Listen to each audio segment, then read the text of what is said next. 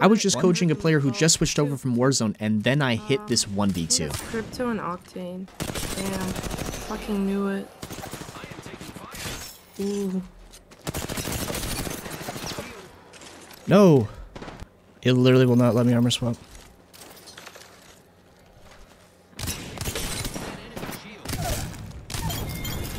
Oh.